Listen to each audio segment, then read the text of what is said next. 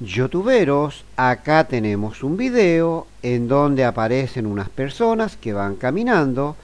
y este video fue creado con uno de nuestros teléfonos móviles o una cámara digital y lo hemos transformado a blanco y negro dándole un toque retro y es muy fácil de hacer usando Avidemux. Para poner este video dentro del programa pulsamos archivo,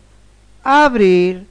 damos un clic sobre el video, presionamos en abrir y el video aparece en la ventana principal. Pulsamos sobre la pestaña copiar,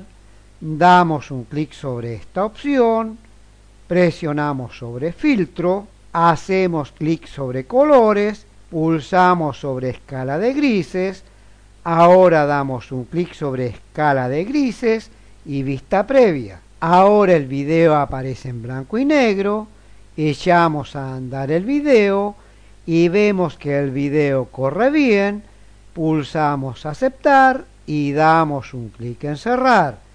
En formato de salida presionamos sobre Avimuxer,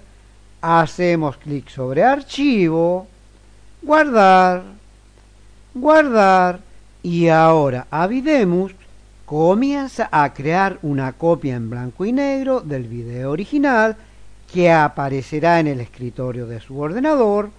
o donde usted le indique a Avidemus que guarde los videos editados. Así de fácil y sencillo. Suscribiéndote a nuestro canal, YouTube te avisará si hemos subido otro video. Pulsando sobre la pestaña Mostrar más que está debajo de este tutorial, aparece este link para encontrar a Videmux y este link para aprender cómo se hace para reducir los videos sin que pierdan calidad y este link para aprender cómo se hace para pixelar la cara de una persona en un video con Camtasia 8